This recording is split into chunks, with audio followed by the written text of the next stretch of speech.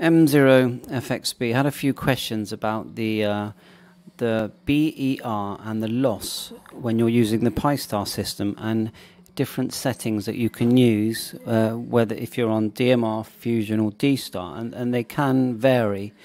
So all I can do is really show you how to change them and show you that if I've got anything changed on my on my radio. So I use my DMR one as an example.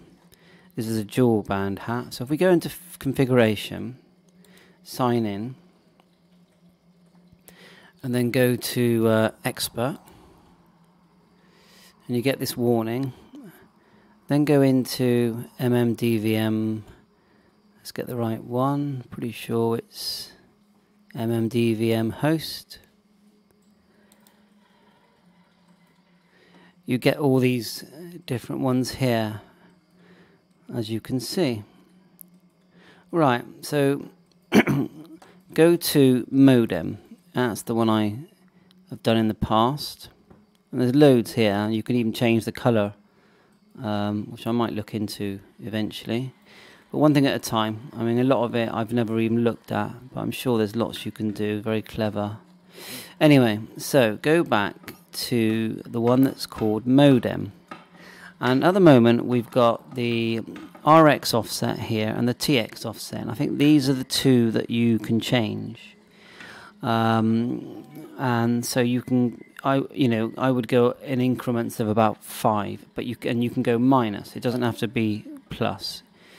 And just try it, and and then go to your echo test. And when you transmit, and so you you put them in and click apply. I mean, I haven't had to do anything, um, so mine have just worked out the box. And this is an old. Mine is an old.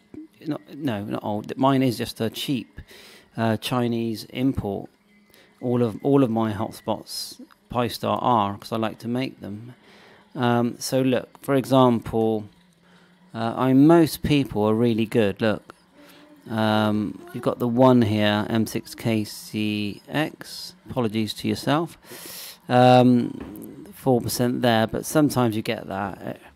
So um, yeah, and then just find out who the Echo server is for your mode, DMR, D Star, or Fusion, uh, and then just test away at your heart's consent. So uh, hope this helps with you um, changing your uh, BER um, settings uh, or improving them um, using the expert settings in in configuration. M0FXB 73. Catch you on air.